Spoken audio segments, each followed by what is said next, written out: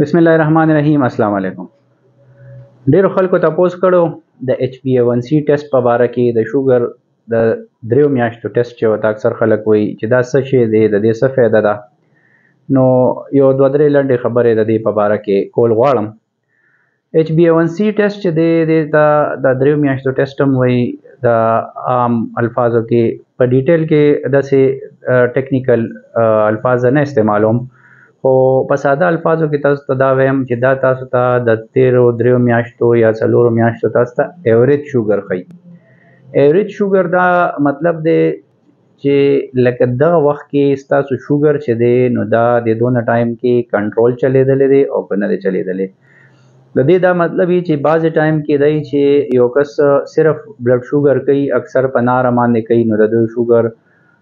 اکثر 120 130 یا 100 داسې را رواني خو د خپل د مړې شوګر ډیر وخت نه چک کړي یا هغه ټایم کې دی داسې چک کی چې هغه داسې خاص خوراکي نه کړي نو هغه ټایم هم د مړې هغه چې راشي نو هغه لږ داسې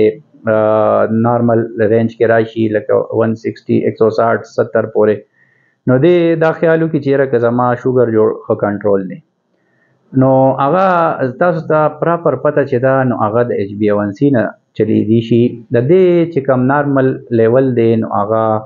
بیلو 6.5 پکار دی لکه دا 6 چې اشاریه پنج نه چې دا لاندې نو موږ دې ته وایي چې دا شوګر صحیح کنټرول دی او دا د درې میاشتو کې صحیح چلیدلی دی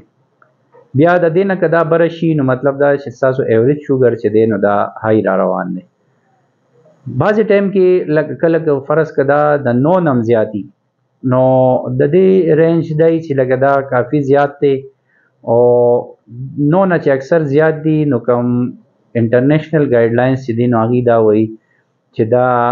انسولین داسې کس ته لګ پکاري چې چا ایچ بي ون سي د 9 نه بري مونږ اکثر کتلی دي چې خلک لګونده کې د انسولین نه لګ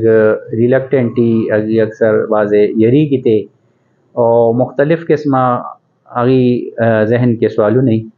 هغه باندې به چرته بل ټایم خبرو کو خو باز ټایم کې ما صرف دا را چې کیچ بی ون سی د 9 نه بری او تاسو ته ډاکټر اډوایز کی چې را انسولین لګول غواړي نو پکار نه چې تاسو پای کې دغه کې هغه خو ټریټمنټ دی انسولین که تاسو لګوي لګ شوګر وسره خو کنټرول شي هغه ټایم کې او ایچ بی ون سی هم وسره راکم شي نو راکم شي نو بیا تاسو روستو ټابلیټس ته واپس سویچ کول شي خو خه خبره دا ده چې هر درې میاشتې پس تاسو ریګولر د خپل ایچ بی ون سی چک کوئ که تاسو یو دوه درې ځله چک او دا لکه چې راغې پنج راغې مطلب دا چې کنټرول دی بیا دو نظر زر د